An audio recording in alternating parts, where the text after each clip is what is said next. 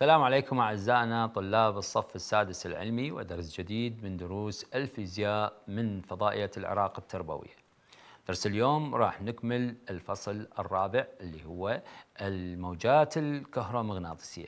في الدرس الماضي تعرفنا عن الموجات الكهرومغناطيسية والخصائص أو الخصائص الخاصة بالموجة الكهرومغناطيسية وتعرفنا كيفية توليد موجة كهرومغناطيسية من قبل عالم هرتز وتعرفنا كيفية آه، معرفة تكون الموجة الكهرومغناطيسية. درس اليوم راح نعرف إنه أنا هنا العالم هرتز من أرسل موجة واستقبلها من مكان آخر عن مبادئ الإرسال والاستقبال. تعالوا وياي عزيزي الطالب نشوف إنه أنا هنا مبادئ الإرسال والاستقبال أو تسلم الموجات الكهرومغناطيسية. مبادئ إرسال وتسلم الموجات الكهرومغناطيسية هو مر علينا مسبقا في الفصل الثالث في دائرة الاهتزاز الكهرومغناطيسي. تساءلنا يوما أن هل تساءلت يوما أن وأنت تسمع صوت المذياع؟ كيف يمكن لهذا الصوت أن يصل إليك عبر الفضاء ومن مسافات بعيدة جدا؟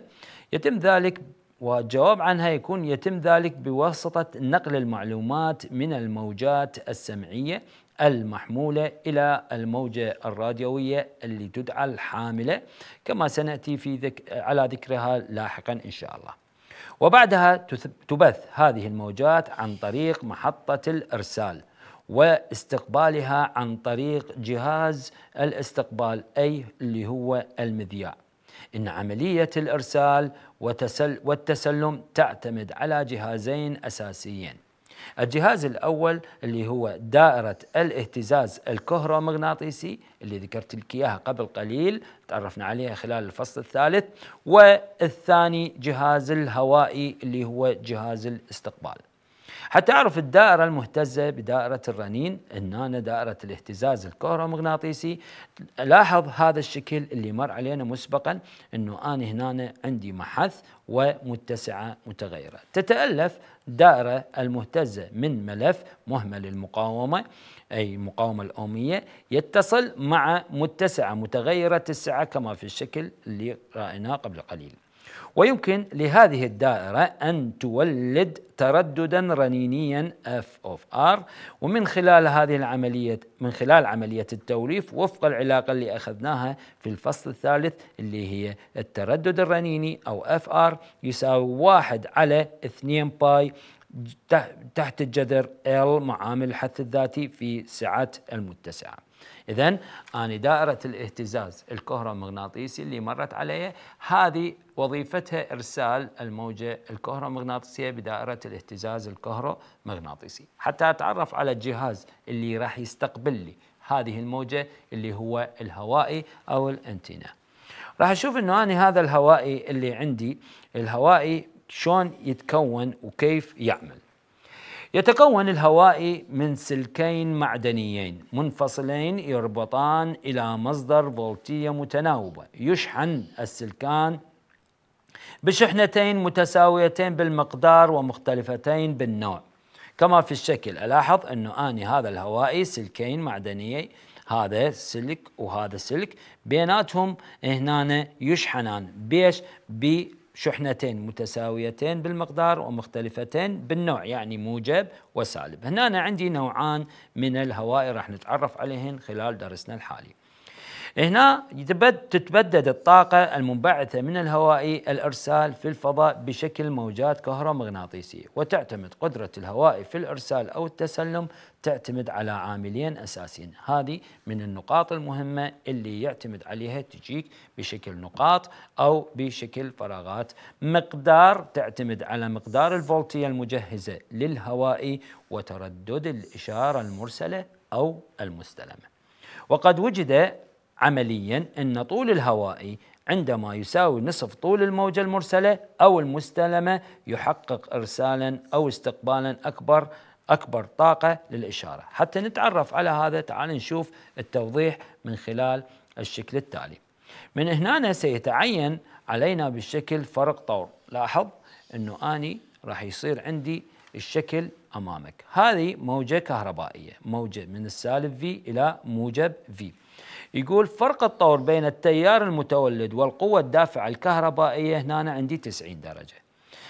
تكون الفولتية في قيمتها العظمى V max عند نهايتي الهوائي ويكون التيار في قيمته العظمى I max عندما تكون في منتصف الهوائي أي العلاقة عكسية فرق الطور بينهم 90 نقطة تغذية قطبي الهوائي بتيار الإشارة المراد إرسالها.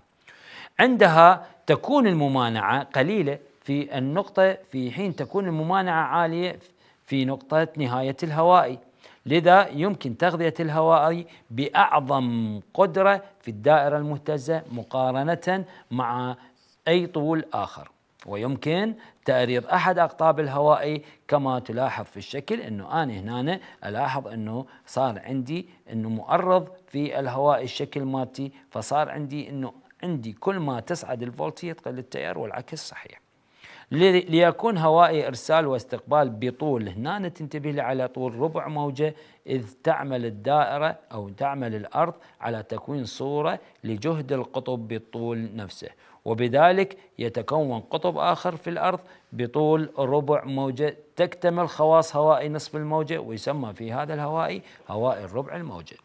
هوائي طول نصف الموجة هو يكون ينطيني يقرا لي نصف للموجة، أما ربع الموجة راح يكون مؤرض يقرا لي لربع الموجة، حتى أجي أعرف كيفية التعامل مع الهوائي راح أشوف المثال اللي عندي. المثال اللي عندي أنا هنا يقول ضبطت دائرة موالفة في جهاز راديو.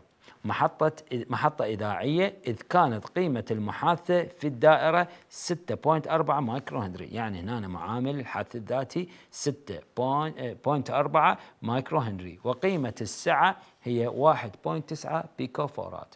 يقول ما تردد الموجات التي يلتقطها الجهاز وما طول الموجة. يعني أنا هنا التردد حتى أجي على التردد أرجع إلى العلاقة تردد رنينية. لأن أنا هنا أرسلتها من من محطة إذاعية واستلمتها وفق تردد رنيني fr بما أنه أنا عندي معامل الحث الذاتي L وعندي سعة المتسعة C راح أطبق العلاقة واحد على 2 باي تحت الجذر L في C لا تنسى إنه هنا أنا الوحدات مالتي بالمايكرو راح أحولها أضرب المايكرو في 10 اس سالب 6 وأضرب البيكو في 10 اس سالب 12 من أجري العملية الحسابية راح يطلع عندي التردد الرنيني أو fr هو 45.665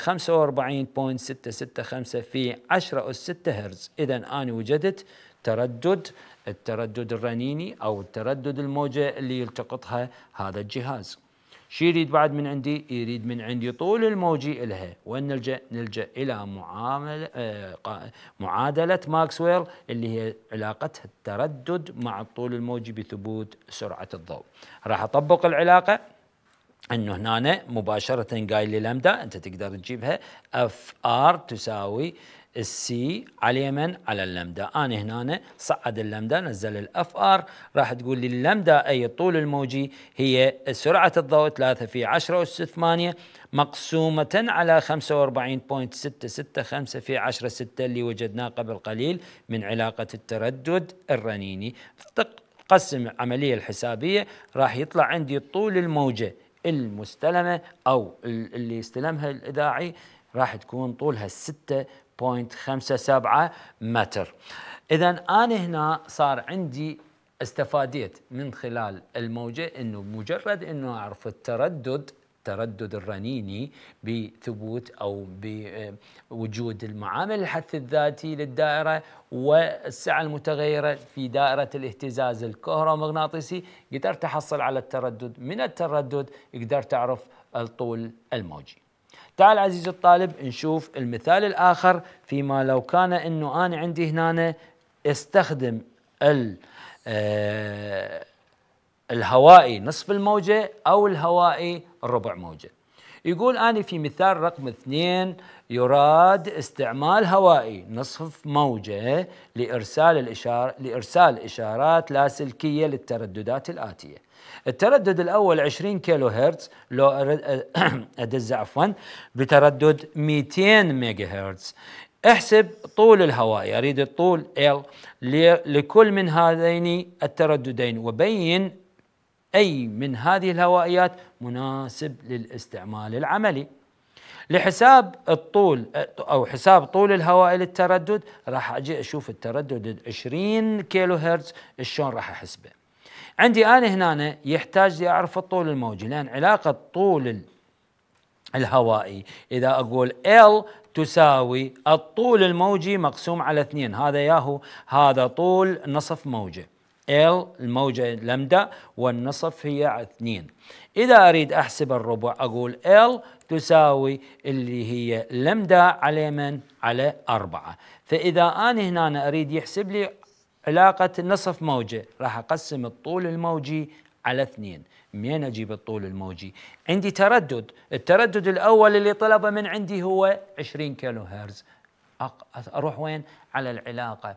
F يساوي C على لمدة التردد اللي ناطيني إياه اللي هو 20 كيلو أحول الكيلو إلى 10 آه، في 10 اس 3 حتى اتخلص من الكيلو وأقسم 3 في 10 اس 8 اللي هي سرعة الضوء على التردد الأول 20 كيلو هرتز. راح يطلع لي طول الموجه 15 كيلو متر طول الموجه 15 كيلو متر إذا أريد الهوائي اللي يلتقط لي هذه الموجة إذا أريد أحسبه من علاقة ال تساوي اللمدة على 2 راح أقسم 15 كيلو متر على 2 راح يطلع طول الهوائي 7 كيلوات ونص هل هذا منطقي؟ إذا أنا الموجة اللي راح أدزها بهذا بهذا التردد يراد لي هوائي جدا كبير لالتقاطها لعد شلون أدز الموجة؟ راح أدز الموجة بتردد عالي حتى يكون عندي طول موجي قصير. من يكون عندي طول موجي قصير راح يكون أريل أو هوائي يكون قصير. تعال شوف هنا النصف الموجة ال L طلع لي هنا من طبقت قانون L لمدة على اثنين طلع سبعة ونص كيلو متر هذا غير منطقي. تعال شوف التردد اللي لازم أدزه. إنه هنا حتى شوف النقاش اللي حكى لي بالكتاب. يقول من الجدير بالذكر أن طول هذا الهواء لا يمكن استعماله في الناحية العملية. ولغرض إرسال مثل هذه الترددات أو مثل هذا التردد نقوم بتحميله على موجة حاملة عالية بالتردد تسمى بالتضمين وسوف يأتي شرحها لاحقا إن شاء الله. حسب لحساب الطول الموجي راح أشوف أنه أني لو وضعت بتردد عالي مثل هذا ال 200 ميجا هرتز يعني 200 مليون هرتز راح أشوف الطول الموجي اللي راح أوصل إليه.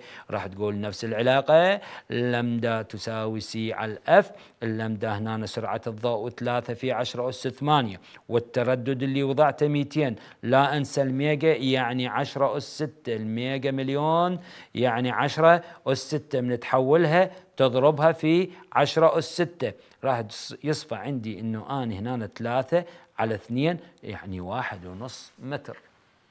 واحد ونص متر طول موجي منطقي. تقدر تشوف الاريال اللي راح يستقبل هذا الطول الموجي راح يستخدمه من يقسم المتر ونص وقسمها على اثنين هو هنا حول لي اياها بالسنتيمتر حتى لسهولة القسمة. بإمكانك أنه أنت تحول إلى عدد صغير أنه السنتيم أنه المتر ونص هي عبارة عن 150 سنتيمتر. من نعرف طول الأريل أو الهوائي راح تقول اللمدة على اثنين راح تطلع لي طول الموجة أو طول الأريل عفوا الهوائي هي 75 سنتيمتر. وهذا شيء منطقي. 75 سنتيمتر تقريبا. هذا الحجم أو هذا الطول عفوا.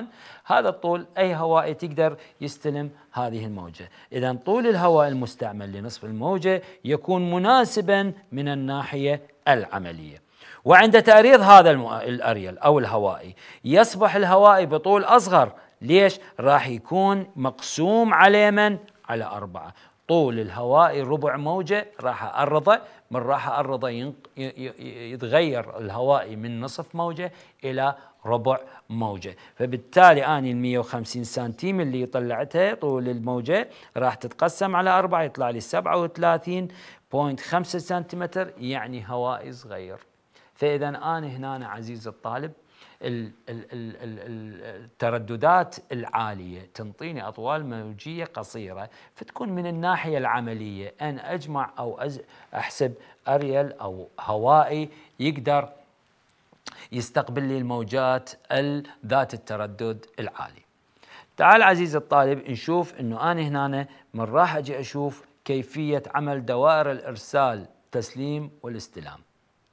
من أجي أنا هنا إلى دائرة الإرسال والاستلام مثل ما قلنا إنه من خلال هذا الشكل إنه أنا عندي الأجزاء الأساسية لجهاز الإرسال والذي يكون حتى نكبرها جهاز الإرسال مثل بداية يتكون من دائرة اهتزاز كهرومغناطيسي وهوائي.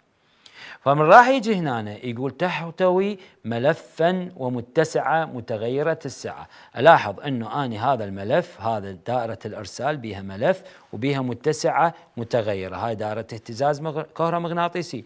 والأريل اللي عندي أيضا بمتسعة متغيرة وبملف هوائي إلى الخارج يستلم الإشارة. وبالتالي يحوي ملفا هذا الهوائي يحوي ملفا مقابلا لملف الاهتزاز الكهرومغناطيسي ومتسعة متغيرة السعة متصلة بسلك معدني حر أو موصلا بالأرض. من راح يصير عندي إرسال الموجة من دارة الاهتزاز راح نشوف طريقة عملها. طريقة عملها بالإرسال راح أجي أشوف عندما تغذى دائرة المهتز بالطاقة تبدأ بالعمل أو في العمل وتوليد موجات الإشارة الكهربائية. ويمكن التحكم في ترددها ترددها عن طريق تغيير سعة المتسعة في دائرة الاهتزاز الكهرومغناطيسي أو من معامل الحث الذاتي للملف. تتسبب موجة الإشارة الكهربائية التي تبثها دائرة الاهتزاز الكهرومغناطيسي في توليد تيار محتث متناوب في ملف الهوائي الذي يكون تردد هذا التيار مساويا إلى تردد الموجات أو موجات الإشارة الكهربائية التي مر توليدها أو أو اللي ولدتها من الدائرة المهتزة. بعدها ينتج التيار المحتث المتولد في ملف الهوائي قوة دافعة كهربائية في سلك الهوائي ترددها يساوي تردد التيار المحتث في الملف وتولد موجات الموجات الكهرومغناطيسية التي يبثها يبثها عفوا السلك الهوائي إلى الفضاء. إذا أنا هنا عزيزي الطالب في دائرة الإرسال أنه راح تتحول الموجة الكهربائية إلى موجة كهرومغناطيسية من خلال دائرة الاهتزاز الكهربائي والهواء اللي سوف يرسلها. من راح يرسلها بالجو أو بالفضاء راح يرسل لي إياها بشكل موجة كهرومغناطيسية تغيرت الموجة الكهربائية وإلى مغناطيسية مع مغنا... بحركتها وبتغيرها صارت موجة كهرومغناطيسية. تعال شوف شلون راح استلمها. راح استلمها أيضا بدائره التسلم. تعال نشوف عزيزي الطالب دائرة التسلم أيضا من تتكون وشلون يكون عملها. راح أشوف إنه الشكل اللي أمامك عندي هذا الهوائي اللي موجود بملف هذا الملف مقابل إلى دائرة راديو معدل موجة. عندي هنا الأجزاء الأساسية للتسلم هن دائرتين دائرة المهتزة ودائرة الهواء نفس الآلية اللي أرسلنا بها الموجة.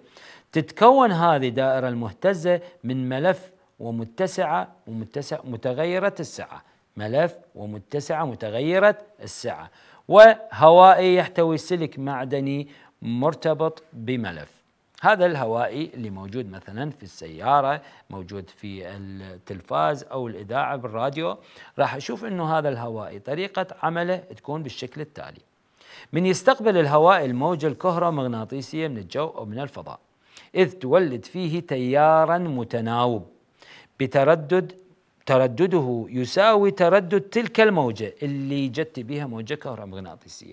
جتني 500 هرتز 200 ميجا هرتز راح تتحول إلى موجة كهربائية بنفس التردد ترددها إيش قد؟ هو نفس التردد اللي جاية به الموجة الكهرومغناطيسية يولد التيار يولد التيار المحتث المتناوب المار في الملف في ملف الهوائي إشارة كهربائية ترددها يساوي إلى تردد التيار المحتث والتي عمل, عمل الهوائي على تسلمها. من جت هاي الموجة من استلمها الهوائي صار عندي تيار محتث من الموجة الكهرومغناطيسية بالمجال بال عفوا بالاريل اكو أكو عندي محث أو ملف محث نعم محث مهمل المقاومة. فبالتالي أنا هنا راح يصير عندي راح يصير تتولد قوة دافعة كهربائية وبدورها تيار محدث ينساب في تيار الهوائي. نغير سعة المتسعة وين نروح هسه؟ بدائرة المعدل اللي هي تغيير موجة التضمين مالتي في دائرة الاهتزاز الكهرومغناطيسي إلى أن تصل إلى حالة الرنين. حالة الرنين إنه أنا عندي ال fr راح تكون ترجع تساوي هنا 2 pi مضروبة في جذر LC مقلوب مالتها. راح أشوف إنه هنا أحصل على حالة رنين كهربائي عفوا رنين كهرومغناطيسي بإهتزاز كهرومغناطيسي وعندها يتولد في الملف دائرة الاهتزاز تيار محدث متناوب يساوي تردده تردده تردد التيار المار في الهواء. فبالتالي راح يصير عندي هنا تتحول الموجة الكهرومغناطيسية إلى موجة كهربائية. هنا حتى أجي اتعرف على التردد اريد اشوفك بس شيء من هاي الدائرة الكهربائيه عزيزي الطالب انه اني في دائرة التسلم والاستلام انه اني الموجة راح تتغير من موجة آه، كهربائية وإلى موجة كهرومغناطيسية راح تنتشر بالفضاء. راح تكون إنه أنا عندي هنا الموجة الكهرومغناطيسية ممكن أن تنتقل بالفراغ وتنتقل في بعض الأوساط المادية وراح تتقل وتضعف وتزداد في بعض الأوساط اللي تقويها ممكن أو تضعفها. وبالتالي أنا هنا راح يجيني إنه أنا عندي بدائره الاستقبال إنه هي معاكسة لها يعني بنفس الطريقة اللي ولدناها بنفس الطريقة اللي راح نستمل نستلمها. عفوا. راح يصير إنه أنا عندي هنا عملية الإرسال والاستقبال راح أشوف إنه هنا تغيير الموجة الكهربائية إلى كهرومغناطيسية وعودتها إلى المذياع التلفاز أي جهاز لاسلكي حتى الموبايل في استقبال الموجات الاتصالات راح يكون إنه أني بهذا المبدأ المبدا الكهرومغناطيسي راح أشوف هنا أنا عزيزي الطالب مبادئ اللي راح تصير عندك من من حيث الكشف عن هذه الموجة. شلون أكشفها؟ شلون يتم الكشف عن الموجة الكهرومغناطيسية؟ كشف الموجة الموجة الكهرومغناطيسية أو الكهرومغناطيسية راح يكون بواسطة مجالها الكهربائية. لاحظ إنه أنا من هاي الدائرة عزيزي الطالب نربط الدائره الكهربائية المبينة كما في الشكل إنه أنا عندي هاي موجة كهربائية بهالشكل. راح يستلمها الهوائي المستقبل. فبالتالي هنا فإن يقول يعمل مجال y أو الموجة y Ey على جعل الشحنات تهتز في الهوائي ويكون تذبذب Ey موجب. فإن قمة الهوائي تكون موجبة. قمة الهوائي راح تكون بإشارة موجبة. فإن ثم تنعكس قطبية الهوائي في اللحظة التالية مباشرة عندما يتكرر انعكاس مجال الكهربائي في الموجة. يجعل الشحنة تتحرك إلى الأعلى وإلى الأسفل بشكل يعتمد على الزمن. وخلال هذه العملية يحث التيار المتغير جهدا مهتزا في الدائرة الرنينية المرتبطة بالهواء بواسطة الحث المتبادل. وعندما وعند تغيير مقدار السعة للحصول على حالة الرنين بين تردد الموجة وتردد الدائرة الرنينية سنحصل على إشارة الموجة الكهربائية المستقبلة. فإذا أنا هنا أو المستلمة راح أجي أشوف ممكن أنكشف عنها بواسطة مجالها المغناطيسي. آه أنا هنا عرفتها عزيزي الطالب عرفتها من خلال مجالها الكهربائي. إذا أريد أعرف الموجة عن طريق مجالها المغناطيسي نعم نفس الآلية. راح أشوف هنا نربط الدائرة الكهربائية كما في الشكل اللي عندك. عندي هنا دائرة اهتزاز وعندي متسعة متغيرة وعندي هوائي بشكل دائرة حلقة. هذا الهوائي راح شي يصير عندي لكون المجال المغناطيسي للموج الكهربائي متغير فإنه يولد قوة دافعه كهربائية محدثه في وين راح تتولد؟ في الحلقة أو في حلقة الهوائي. ويكون يتطلب أن يكون مستوى الحلقة الهوائي بوضع عمودي على الموجة. باتجاه الفيض المغناطيسي لهذا السبب نجد إن أجهزة الراديو الصغيرة يختلف استقبالها لمحطات الإذاعية. تبعا لاتجاهه يعني إذا غيرت اتجاه الراديو والسيارة نوبات في حالة حركة راح تشوف أنه هنا يصير عملية التشويش بسبب أنه هنا مدى يسقط المجال المغناطيسي بشكل عمودي. ويمكن توليف هذه الإشارة المستلمة في الهواء عن طريق دائرة الرنين بواسطة تغيير سعة الموجة في الدائرة. في نهاية درسنا عزيزي الطالب نشكر إصغائكم وتعرفنا عن استقبال إرسال واستقبال الموجات الكهرومغناطيسية. دمتم في أمان الله وحفظه.